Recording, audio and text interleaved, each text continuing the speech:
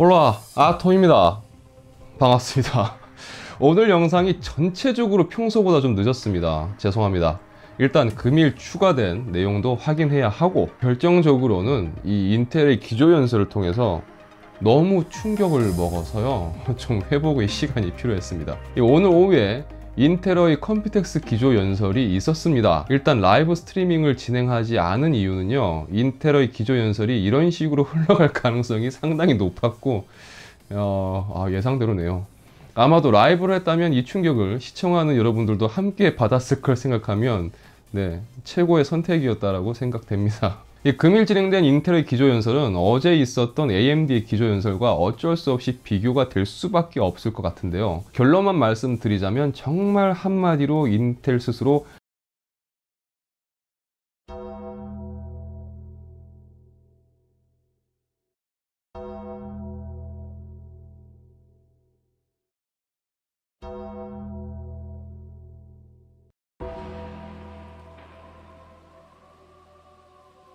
사망 선고를 해버리는 모습이었습니다. 예, 세부 사항을 정리하고 자시고 뭐 이런 것도 할 것도 없기 때문에 간단하게 말씀드리자면 금일 인텔의 주요 발표 내용은 뭐 드디어 10나노 Ice Lake의 공개였습니다. 네, 곧 나옵니다. 아마 여러분들은 곧 10나노 Ice Lake를 만나실 수 있을 겁니다. 네. 노트북으로 말이죠. 온갖 루머와 낭설이 계속 나왔었는데 저도 계속 말씀드렸죠. 6월에 나온다고 하는 Ice Lake는 모바일 버전, 즉 노트북 버전이다. 데스크탑 버전은 언제 나올지 알 수 없다라고 말입니다. 그래도 이번 Computex에서 뭔가 공개될 것이라고 믿었던 분들이 분명히 있었을 겁니다. 인텔은 시원하게 통수를 치고 모바일 버전의 Ice Lake를 공개했습니다. 이전 Skylake 대비해서 한 18% 정도의 IPC 향상이 있었다고 했고요. 원시 성능 측면에서는 한 40% 이상의 성능 향상이 있다고 밝혔습니다. 네, 굉장히 대단한 성능 향상입니다. 그걸 좀 데스크탑에는 안 될까요? 프로세서 언제 나오나요? 데스크탑은. 그리고 추가로 AI 처리를 위한 기능이 추가되어서 이 DL Boost라는 기술 덕분에 Skylake 대비했을 때 AI 작업 속도는 2.5배 향상되었다고 합니다. 그래서 기조연설에서 이 AI를 활용한 이미지 및 뭐 비디오의 upscaling 데모와 운동 및 트레이닝 훈련 내부의 데모를 시연했습니다. 그 이미지랑 비디오 upscaling은 뭐 그렇다고 치더라도 이 트레이닝과 훈련 내부의 데모는요, 아, 솔직히 굉장히 민망했습니다. 혹시 Xbox Kinect라는 걸 아시나요? 그 Xbox 콘솔에 이렇게 연결해서 쓰는 그 있어요. Kinect라고 카메라인데 그거를 활용한 그것 그 데모보다 훨씬 더 고퀄의 그걸 활용한 게임이 아주 아주 오래 전에 있었는데. Down. Up. Down.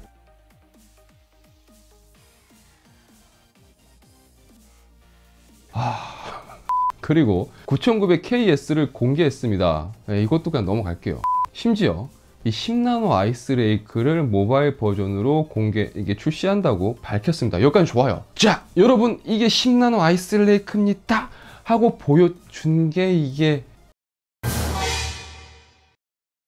와 오늘 발표에서 제가 볼 때 그나마 괜찮았던 건 이 Performance Maximizer overclocking이라는 프로그램이었습니다. 그냥 각 코어별 테스트를 통해서 overclocking을 도와주는 프로그램이라고 합니다. 이게 올해 말에 출시 예정이고 이 overclock이 어렵거나 많은 시간을 투자하기 힘든 분들이 또 쉽게 overclock을 할 수 있다라는 부분에서는 의미 있는 프로그램이라고 보여졌습니다. 인텔의 기조연설 총정리 뭐 이런 식으로 보여드리고 싶었는데 프로세서 하나라도 이렇게 손에 들고 보여줄 줄 알았습니다.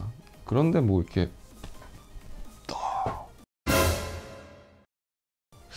인텔이라서 이렇게 사이즈가 커서 그런가 우리는 뭐 이런 거 안 한다 이건가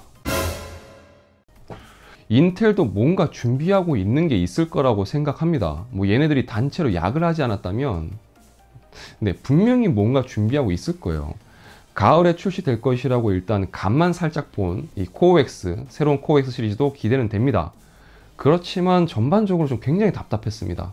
뭐 사실 그런 거 아니겠습니까? 뭐 흥할 때가 있으면 뭐 새할 때도 있는 거고 AMD가 이렇게 올라와서 어, 타이트하게 경쟁 구도가 잡히거나 또 인텔이 한 번 넘어지고 뭐 또 다시 또 일어서고 이번 영상은 여기까지입니다. 영상이 유익하시다면 좋아요를 새로운 영상을 놓치고 싶지 않으시다면 구독과 알람 설정도 잊지 마시고요.